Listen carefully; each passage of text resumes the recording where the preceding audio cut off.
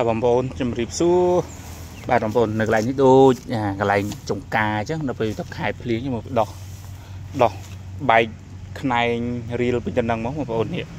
ដែលគេហៅថាយិនសិនស្រុកថ្ងៃមុនមានបងប្អូនណាចង់បាននោះទៅគាត់នៅគាត់នៅកំពង់សោមណាខ្ញុំអត់បានបេះឲ្យបងប្អូនអានេះនេះយកយកស្លឹករបស់វានេះយកទៅស្រស់មីឆ្ងាញ់ណាស់បងប្អូនហើយមួយទៀតដើមរបស់វានេះដើមមើមរបស់វានេះគឺត្រូវថ្នាំបងប្អូន ហ្នឹងហើយអឺត្រូវថ្នាំបងប្អូនត្រូវថ្នាំហើយក៏វាជីបន្លែដែរបាទហើយយិនសិនស្រុកបងប្អូនមើលផ្ការបស់វានេះបងប្អូនមើលផ្កា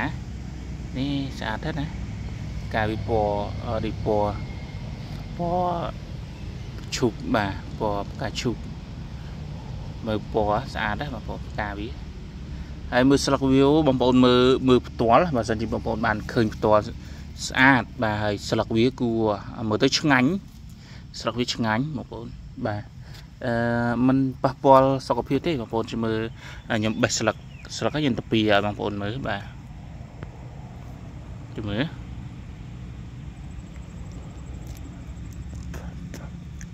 រសជាតិវាដូចផ្អែមបាទផ្អែមបងប្អូនផ្អែមហើយចំពោះរុក្ខជាតិនេះបងប្អូនហើយសម្បូរវីតាមីនណាសម្បូរវីតាមីនច្រើនហើយ ឬរបស់វាប្រៀបបាននឹងយិនសិនបានដែលខ្មែរយើងនៅក្នុងសិភៅខ្មែរយើងគេហៅថាយិនសិនស្រុកដោយសារតែវីដេអូនេះខ្ញុំធ្លាប់ប្រាប់បងប្អូនហើយបាទធ្លាប់បានបង្ហាញពី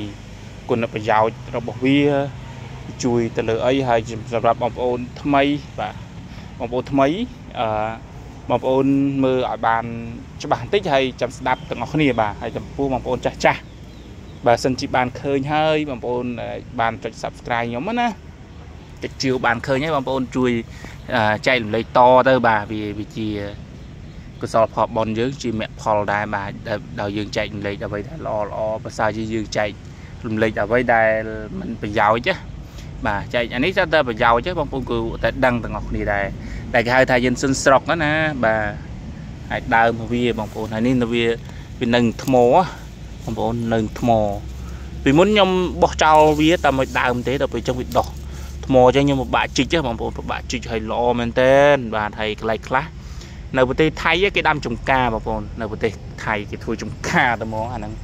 បាទដោយសារតែវាគេពេញនិយមគេហៅយើងសិនស្រុកហើយនេះមកគេថាយើងសិនស្រុកព្រោះនៅពេលដែលយើងស្លស៊ុបស្លអីហ្នឹងស៊ុបអីគេយកមើមពោះវាហ្នឹងដាក់ស៊ុបទៅមានរសជាតិឈ្ងុយឆ្ងាញ់បងប្អូន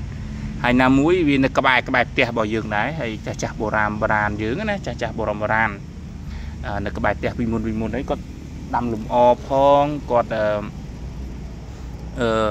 គាត់ដាំសម្រាប់លំអផងគាត់ដាំសម្រាប់ប្រយោជន៍ឱសថផងនិងប្រយោជន៍សម្រាប់អឺស្លបាទធ្វើម្ហូបធ្វើអីហ្នឹងបាទវាប្រយោជន៍ត្រង់ចំណុចហ្នឹងបានច្រើនណាបងប្អូនណាអឺវីដេអូនេះគឺខ្ញុំបានបាទធ្លាប់បានប្រាប់ហើយការជួយសុខភាពបងប្អូនហ្នឹងដើមរុក្ខជាតិមួយនេះនៅពេលដែលបងប្អូនមានបញ្ហារបេងសួតរលាកសួតរលាកអីហ្នឹងក្អក ក្អកធ្លាក់ឈាមក្អកអីហ្នឹងគឺបងប្អូនបកែទាំងស្លឹករបស់វាទាំងដើមទាំងឫសរបស់វាបាទជាពិសេសឫសរបស់វាហ្នឹង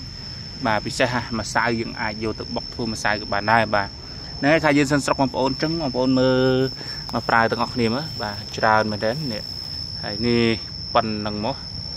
នឹងបងប្អូនទាំងអស់គ្នាដូចចំការអញ្ចឹងអរគុណច្រើនណាបងប្អូនហ្នឹងហើយហ្នឹងអរគុណ